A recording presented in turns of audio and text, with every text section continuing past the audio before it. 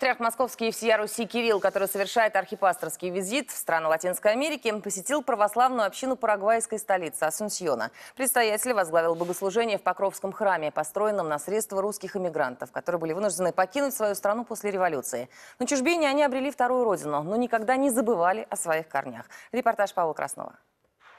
Среди субтропической зелени русский самовар смотрится странно, но в этом доме он не просто деталь интерьера. Когда родители Ирины де Марвиль, а сама она эмигрантка во втором поколении, добрались до Парагвая, у них не осталось почти ничего, что связывало бы их с родиной, и потому все, что напоминает о России, она бережно хранит. И православные иконы, и купленные уже ею самой матрешки, и семейную реликвию – офицерские погоны деда, который служил еще в русской императорской армии. Я конечно, парагвайка, потому что родилась тут. Но я, я в моем сердце, я русская.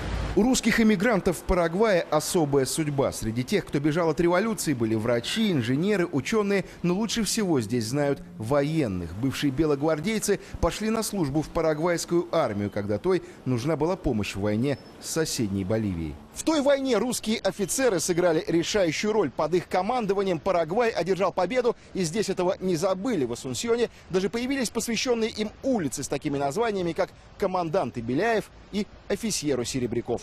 Правда, сейчас потомки тех офицеров даже между собой зачастую говорят по-испански, но и связи с далекой родиной они стараются не потерять, в том числе и сохраняя в католической стране православные традиции. Первый православный храм в Асунсьоне когда-то основали именно русские иммигранты. Нам нужен этот храм.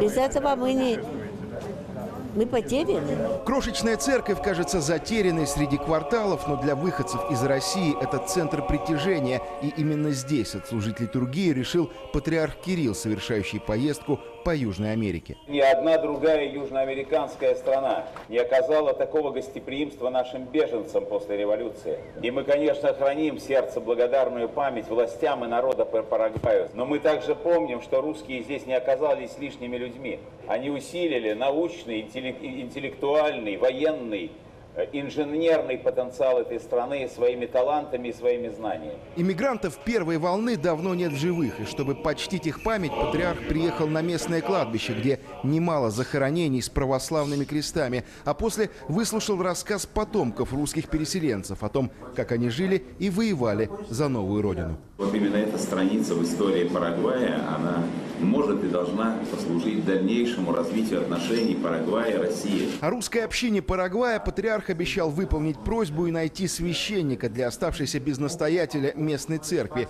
Живущим вдали от родины, эта частица России очень нужна. Павел Краснов, Николай Сысоев, Валерий Севастьянов. Первый канал. Асунсьон, Парагвай.